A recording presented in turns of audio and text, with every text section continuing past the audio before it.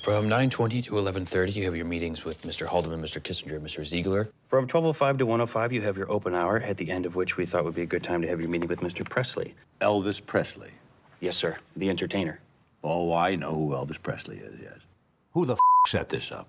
Elvis and Nixon. Completely true story. Elvis Presley was concerned about the protests against the Vietnam War, lack of respect for law enforcement. He was far more conservative than a lot of people might have suspected. So he got on a plane, wrote a six-page letter to President Richard Nixon, showed up on the White House gates at six in the morning, asked for this letter to be given to the President of the United States, and then went to a hotel until he was going to successfully get a meeting with the President. Which I never thought we would get there. He always did. I, I didn't want to hurt his feelings. And what he actually wanted was for the President of the United States to make him an undercover federal agent at large. He would also like a badge. A what? I could infiltrate the communists, and then I'd bust them all.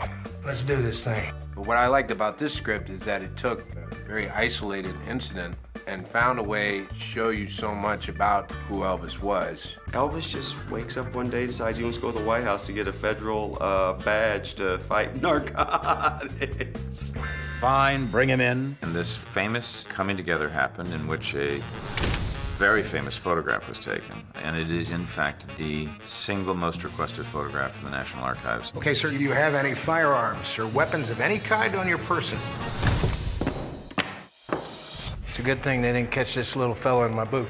There is a, a series of things that Elvis is uh, is told he should not do. On the coffee table is a dish with M&Ms. Those are only for the president. And then he basically breaks every one of those rules because, you know, he's Elvis Presley. M&Ms are my favorite. Mine too.